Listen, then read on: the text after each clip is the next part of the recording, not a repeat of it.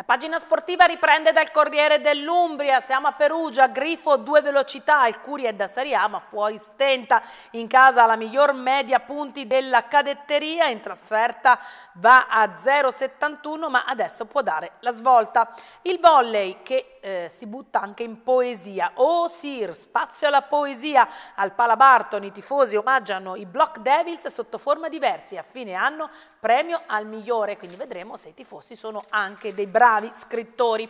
Ma ieri scendeva in campo la Ternana per il recupero della prima giornata, tra Ternana e Rimini non c'è stata storia, Ternana 3, eh, Rimini 0, l'11 di Decanio ritorna al successo dopo due KO, unico neo la chance fallita, tra cui una penalty in avvio di ripresa. Bandecchi dalla panchina applaude il tris delle fere, apre Istov, poi nella ripresa reti di Frediani e Nicastro. Ma vi leggiamo oggi anche di questa vicenda che è accaduta lo scorso fine settimana su un campo di prima categoria eh, Serie D eh, nove espulsioni alla Proficulle, il capitano scrive a Repace e Cra. Allora, vediamo che cosa è successo. Nove espulsioni, via per proteste il portiere di scorta e il dirigente accompagnatore che gli sedeva accanto. Poi nel mezzo di una discussione il rosso ha due giocatori di cui uno in panchina. Quindi allontanato anche un dirigente, tre calciatori titolari, infine cacciato dal campo il guardialine di parte sempre per proteste. Questo è accaduto domenica scorsa nell'incontro tra la Proficulle e la eh, Del Nera. Tanto lavoro per l'arbitro Garofalo che a fine gara è stato scortato dai carabinieri perché la protesta dei giallorossi e dei tifosi pare non si fosse esaurita lì. Il capitano della Proficulle ieri, Galletti, espulso anch'egli, ha scritto al presidente degli arbitri umbri e ha detto che in oltre 500 partite ho preso solo 4-5 giornate di scalifica. Assistere ai fatti descritti mi ha fatto male. Quello di domenica non ha nulla a che vedere con l'arbitraggio perché il direttore di gara, al di là degli errori tecnici, ha solo contribuito ad esasperare gli animi. E questo accade in un campo di calcio. Andiamo in Serie C, andiamo a parlare di Gubbio, Tour de Force. Per il Gubbio bisogna inserire la quarta. Nell'ordine arrivano Triestina, Vicenza, Pordenone, Sambe, Virtus Verona. Le prossime quattro sfide sono impegnative per i rossoblù. In eccellenza, Città della Pieve, De Vincenzi para tutto. Il portiere dice una vittoria dedicata al nostro massaggiatore Giancarlo. È arrivato in prestito proprio dal Gubbio. Andiamo al messaggero.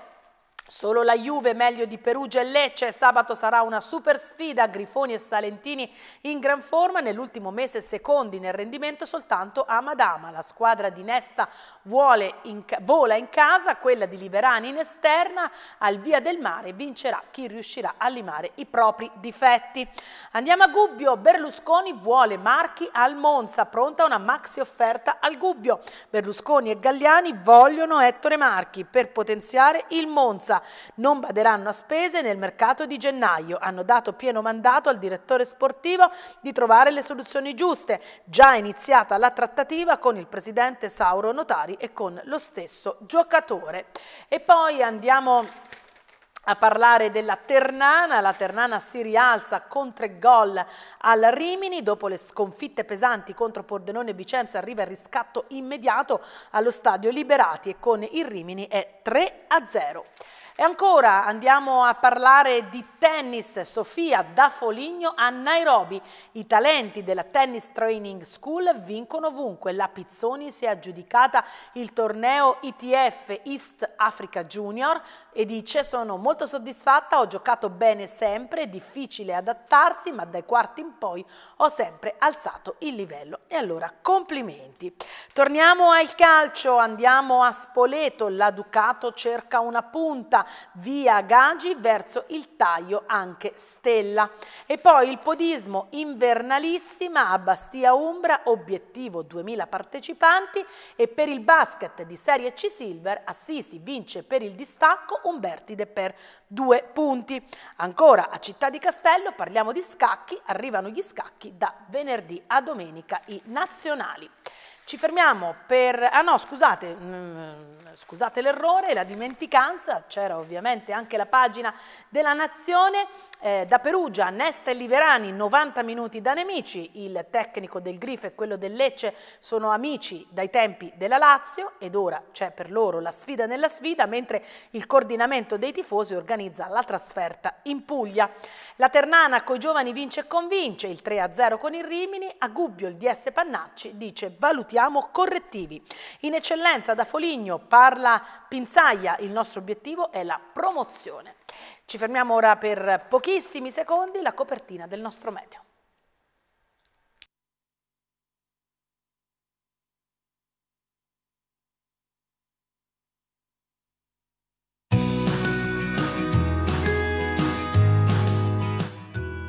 Finalmente SEP c'è, il nuovo distributore di carburanti a mercato libero a Gubbio in via dell'Arboreto. Anna Bonaiuto sarà al Teatro Luca Ronconi di Gubbio mercoledì 5 dicembre alle 21 con La Divina Sara.